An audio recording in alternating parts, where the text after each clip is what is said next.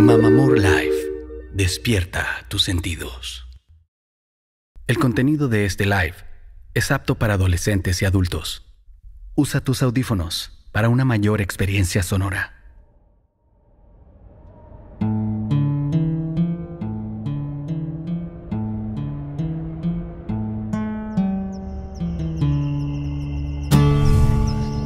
Dramanautas presenta Temporada 5 Las enseñanzas de Don Juan Episodio 6 El doble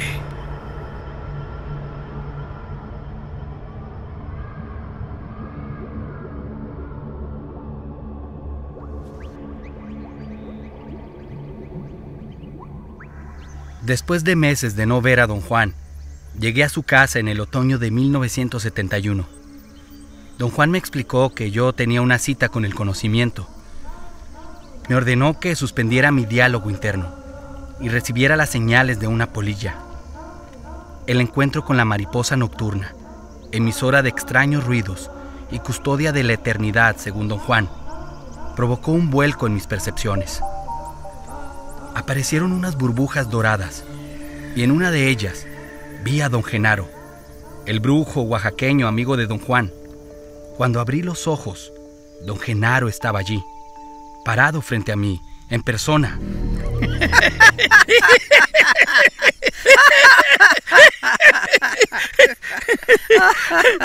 ¿No vas a saludar a Genaro? Eh, bueno, eh, sí, sí, sí, sí. Eh, ¿Cómo está, don Genaro? ¿Me llamaste? Sí, te llamó. Bueno, aquí estoy. Poco a poco mi mente pareció organizarse y finalmente tuve una comprensión súbita. Don Genaro era la polilla. Era él quien había hecho los ruidos extraños y en el momento adecuado hizo sentir su presencia. Don Genaro, eh, eh, a, a ver, usted estaba escondido en los arbustos, ¿verdad? No, no, no, estaba escondido. Estaba lejos de aquí. Y entonces me llamaste. Así que vine. ¿Qué tan lejos? Genaro vino a verte como un acto de amistad hacia ti y no puedes preguntarle dónde estaba, porque no estaba en ninguna parte. Ah, deja que me pregunte, Juan. Bueno, si no andaba escondido cerca de la casa, don Genaro, ¿dónde estaba usted? Pues estaba en mi casa. ¿En Oaxaca? Sí, es la única casa que tengo. ¿Pues qué? ¿Soy don Juan o qué?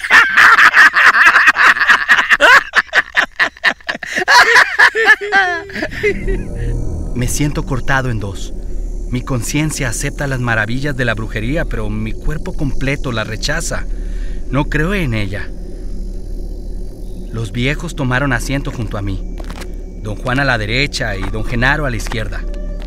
En ese instante oí de nuevo el llamado de la polilla. Su textura era más rica que nunca. Había estado seguro de que don Genaro era la polilla, pero don Genaro estaba sentado junto a mí. ¿Qué había entonces en los arbustos? ¿Ve eso? En ese instante, discerní una masa oscura directamente frente a mí. Al filo de las matas, sentí que me sacudían. Abrí los ojos. Don Juan y don Genaro estaban de pie, a mi lado, y yo estaba de rodillas, como si me hubiera dormido agazapado. Amanecía. La polilla no había sido don Genaro. Mi estructura racional se caía a pedazos. ¿Esa polilla era el aliado de don Juan? ¿Qué dices, Carlitos? Dijo que viendo un aliado. Ajá. ¿Eres un genio, Carlitos? Eh, mire, eh, mire, no entiendo, don Genaro. Si usted andaba en la sierra de Oaxaca, ¿cómo llegó aquí? Lo siento, Carlitos. Mi boca no quiere hablar. Dile tú, Juan. A veces Genaro no es Genaro, sino su doble. ¿Cómo? ¿Qué hay otro Genaro? Usted tiene un hermano gemelo. Claro que sí. Tengo un cuate.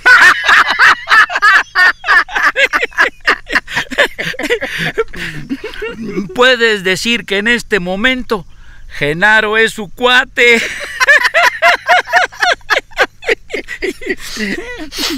Pues lo que a ustedes les parece la mar de chistoso, a mí me parece aterrador.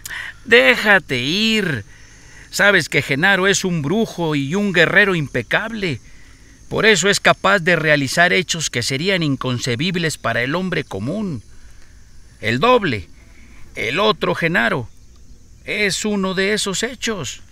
¿Y, y el otro es como uno mismo? El otro es uno mismo. Pero, ¿de qué está hecho el otro? Ay, no hay forma de saberlo. Pe- Pero, ¿es real o es una ilusión? ¡Ah! ¡Tócame! ¿Aquí? A ver si soy una ilusión. Lo malo contigo, Carlitos, es que eres un genio. No hay manera de saber si el doble es de carne y hueso, porque es tan real como tú. El doble de Genaro es tan real como Genaro. ¿Ves lo que quiero decir? Me sentía demasiado débil para hacer nuevas preguntas. Por un instante creí que iba a desmayarme. Necesitas comer, Carlos. Él o yo o quien sea. También tiene mucha hambre.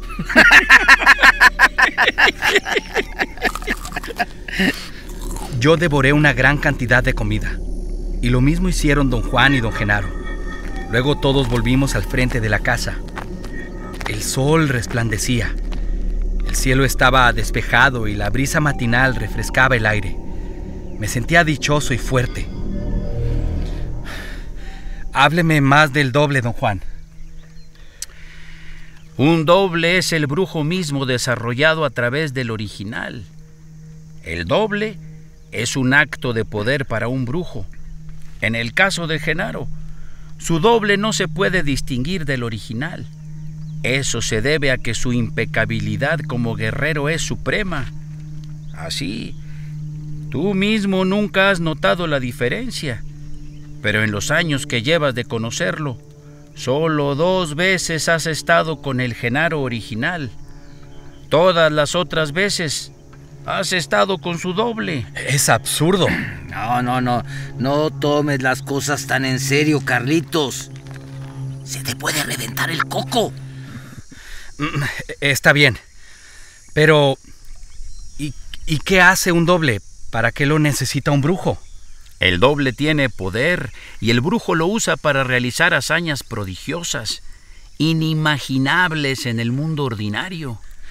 ¿Y se da cuenta el brujo cuando está convertido en su doble? Claro que se da cuenta. ¿Sabe que está en dos lugares al mismo tiempo? ¿Dónde está el otro don Genaro? Mm, pues no sé. Ningún brujo sabe dónde está su doble. Genaro tiene razón. El brujo no tiene ni la menor idea de que está en dos sitios al mismo tiempo. Tener conocimiento de eso equivale a encarar a su doble, y el brujo que se encuentra cara a cara consigo mismo es un brujo muerto. Esa es la regla. Nadie sabe por qué. ¿Y una persona ajena puede, mm, mirando a un brujo, ver que está en dos lugares a la vez? Seguro. Es la única manera de saberlo. ¿Y el brujo puede llegar a notar que ha estado en dos lugares? Claro. Por esta vez acertaste. Un brujo puede sin duda notar después que ha estado en dos sitios al mismo tiempo. Pues sencillamente no puedo comprender todo esto, don Juan. Yo tampoco. Ay, yo menos, querido Carlitos. ¿Tiene cuerpo el doble? Piensa en esto. El mundo no se nos viene encima directamente. La descripción del mundo siempre está en medio. Así pues, hablando con propiedad, siempre estamos a un paso de distancia y nuestra vivencia del mundo es siempre un recuerdo de la experiencia. Estamos eternamente recordando el instante que acaba de suceder, de pasar. Recordamos, recordamos, recordamos todo, la solidez, el cuerpo, son recuerdos, al igual que todo lo demás que sentimos del mundo, son recuerdos que acumulamos. Tú tienes el recuerdo de mi solidez, igual que tienes el recuerdo de comunicarte con palabras. Tócame. Después de tocar a don Juan, me sentí trastornado. La fatiga de la noche anterior y la perturbadora conversación acerca del doble eran demasiado para mí. Sentí la urgencia de abandonar a don Juan y don Genaro. Creo que quiero irme. Te acompaño hasta tu coche. ¿Tienes mala cara? Adiós, don Genaro. Adiós, Carlitos. Búscame cuando quieras. ¿Usted también tiene un doble, don Juan? Claro. Tuve en ese momento una idea enloquecedora. A lo largo de los años de nuestra relación, se había hecho costumbre que cada vez que yo deseaba ver a don Juan, iba a Sonora o a México Central y siempre lo hallaba esperándome. Había aprendido a dar eso por sentado y nunca se me había ocurrido pensar nada al respecto. Dígame una cosa, don Juan. Eh, en este momento, usted... ¿Es usted... ¿Es usted o es su doble? El doble. Mi cuerpo saltó en el aire como si me impulsara una fuerza formidable. Corrí a mi coche. ¡Lo dije en broma! Todavía no te puedes ir. Me debes cinco días. Me saludas al otro si lo ves.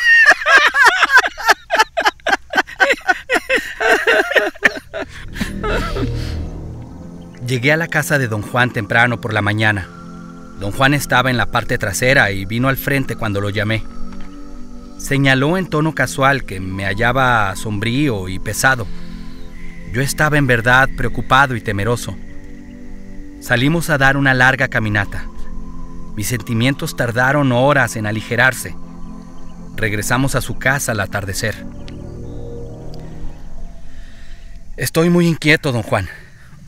Hubo algo verdaderamente pavoroso en lo que usted y don Genaro dijeron la última vez que estuve aquí. Me parece un error fatal que tomes las cosas tan en serio. Un guerrero actúa como si no hubiera pasado nada, porque no cree nada, pero acepta todo tal como se presenta. Actuar en esa forma disipa la obsesión. Mire, don Juan, mi problema... Mi problema es muy serio. Si usted y don Genaro fueran hombres semejantes a mí, su maestría los convertiría para mí en modelos de conducta. Pero si, como creo, son seres drásticamente diferentes de mí, entonces ya no me es posible concebirlos como modelo, sino como rarezas que yo no puedo aspirar a emular. Genaro es un hombre. Ya no es un hombre como tú, cierto. Pero esa es la hazaña y no debería darte miedo. Pero su diferencia no es una diferencia humana. ¿Y qué cosa crees que es? La diferencia entre un hombre y un caballo. No, no sé. Pero no es como yo. No obstante, lo fue una vez. Por lo visto, el doble puede realizar actos. Por lo visto. Pero, ¿puede el doble actuar como uno mismo? Es uno mismo, carajo. Eh, mire, Permítame poner un ejemplo, como pura teoría. ¿Puede don Genaro matar a alguien a cientos de kilómetros de distancia dejando que su doble lo haga? Estás repleto de cuentos de violencia. Genaro no puede matar a nadie, sencillamente porque ya no tiene ningún interés en sus semejantes. A la hora en que un guerrero ha conquistado el ver y el soñar, y de darse cuenta de su propia luminosidad, ya no le queda nada de ese interés. Genaro es un hombre de conocimiento, el más puro de todos. Está más allá de los hombres comunes y más allá de los brujos. Su doble es una expresión de su alegría y su buen humor. Guardamos silencio. El sol estaba a punto de alcanzar la copa de las densas matas altas del lado oeste de la casa. Quedaban unas dos horas de luz libre. ¿Por qué no llamas a Genaro? La pregunta de don Juan me hizo dar un salto. Mi reacción inicial fue abandonar todo y correr a mi coche. mira, si a ti no te interesa llamar a Genaro, a mí sí. Me gusta su compañía. Siéntate bien. No quiero que Genaro te vea temblando. ¡Genaro! ¡Ven aquí! ¡Ahí voy! Unos momentos después, don Genaro surgió del chaparral. Él y don Juan resplandecían de contentos. Prácticamente bailaron frente a mí. ¡Carlitos! Qué bueno que me llamaste. Genaro ha venido de nuevo exclusivamente por ti. Vino porque quiere hablarte del doble. ¿Qué te gustaría saber, Carlitos? Bueno, sí. Pues si va usted a hablarme del otro, cuéntemelo todo. Genaro puede hablar del señorón y el soñar. Como ya sabes, Carlitos, el doble empieza en sueños. ¿Cómo? Sí. El doble es un sueño. ¿Quiere usted decir que no es real? No, no, no, no, no, no, no. Quiero decir que es un sueño. Cuando me pasó la primera vez, no supe lo que había pasado. Un día había estado recogiendo plantas en los cerros y me había metido en un sitio que les toca a otros hierberos. Junté dos costalotes y ya estaba listo para irme a mi casa cuando me dieron ganas de descansar un rato. Me acosté junto al camino, frente a un árbol, y me quedé dormido. Después, oí gente que bajaba del monte y me desperté. Al momento me escorrí me escondí detrás de unas matas al otro lado del camino muy cerca del sitio donde me había echado a dormir. Estando allí, se me dio por pensar que se me había olvidado algo. Miré a ver si tenía mis dos costales de plantas. ¡Tac! No los tenía. Miré para el otro lado del camino, al lugar donde me había estado durmiendo. Y casi me muero del susto. Yo seguía allí dormido. Era yo mismo. Ya para entonces la gente que bajaba del monte iba llegando a mí que estaba dormido, mientras que yo que estaba bien despierto, miraba desde mi escondite sin poder hacer nada. Me lleva la chingada, me van a encontrar allí, pensé, y me van a quitar mis costales. Pero las gentes pasaron junto a mí que dormía como si yo no estuviera allí. La visión fue tan vívida que me puse como loco. Grité y entonces volví a despertar. ¡Carajo! Había sido un sueño. Dile dónde despertaste la segunda vez. Desperté junto al camino, donde me quedé dormido. Pero por un momento no supe bien dónde me encontraba en realidad.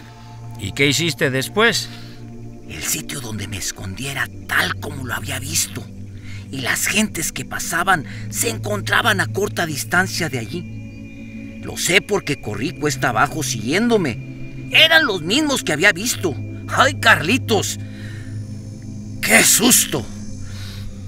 ¡Qué susto! Ya ves, Carlos. Todos pasamos por las mismas dudas.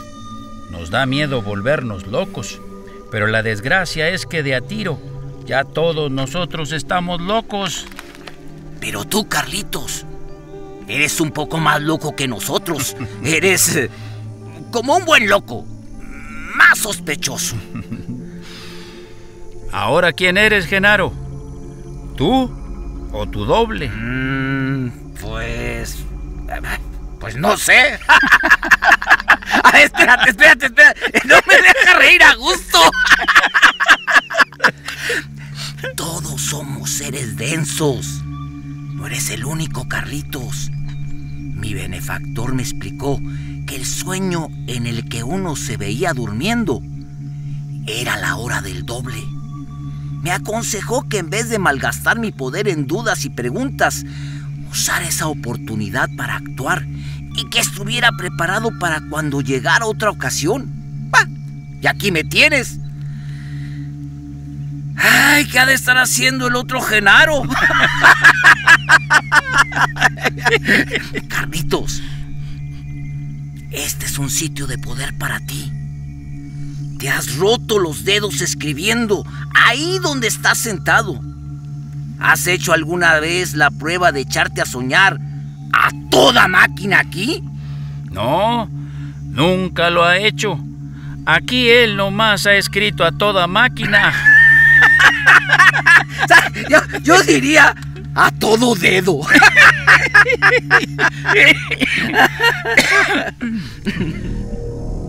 Don Genaro se acercó a mí y con gran fuerza jaló hacia él mi brazo izquierdo. Perdí el equilibrio y caí de bruces. Tuve un momento de pánico devastador. Sentí desmayarme. Quizá me desmayé. Luego alguien me ayudó a enderezarme. Era don Genaro. Me empujó de los sobacos y me ayudó a caminar. Yo no podía determinar dónde estaba.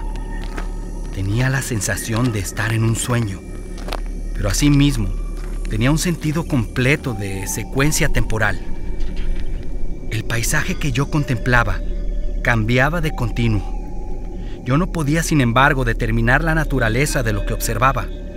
Lo que había frente a mis ojos era más bien un sentimiento, un estado de ánimo. Y el centro de donde irradiaban todos esos cambios era definitivamente en mi estómago. Las fluctuaciones en torno mío salían de mi estómago. Yo creaba un mundo, una corriente interminable de sentimientos e imágenes. Noté que una imagen se repetía constantemente. Don Juan y don Genaro trataban de alcanzarme. La imagen era fugaz. Pasaban rápido frente a mí. Era algo comparable de un auto en marcha veloz. Don Juan y don Genaro parecían querer agarrarme. Entonces ellos me hablaron. Don Juan me señaló un bulto en el suelo. Era un hombre y yacía boca abajo, el rostro vuelto a la derecha. Llegué al hombre. Era yo. El reconocimiento no produjo terror ni sufrimiento. Simplemente lo acepté sin emoción. Don Juan y don Genaro me ordenaron despertar. Tuve entonces un momento único. Mi mente contenía dos imágenes, dos sueños. Sentí que algo de mi ser estaba profundamente dormido y empezaba a despertar. Y me hallé en el piso de la casa de don Juan, y con don Juan y don Genaro que me sacudían. Pero también me encontraba en un claro en el chaparral, donde don Juan y yo habíamos tenido encuentros sobrenaturales, un sitio de poder. Durante un instante crucial, no estuve en un lugar ni en el otro, sino más bien en ambos, como un observador que ve dos cosas al mismo tiempo. Tuve la increíble sensación de que en dicho instante habría podido tomar cualquier derrotero. Conocí la hora del doble.